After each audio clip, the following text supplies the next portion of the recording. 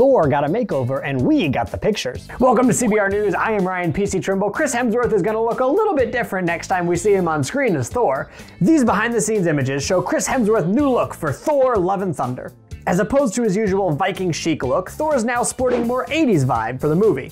Here, he's wearing jeans and a sleeveless leather jacket over a t-shirt, and we even get a hint of a new boot design that'll look familiar to fans of the comics. He's also braided his hair and returned to his literally god-level physique after a descent into depression left him a little more mortal looking in Avengers Endgame.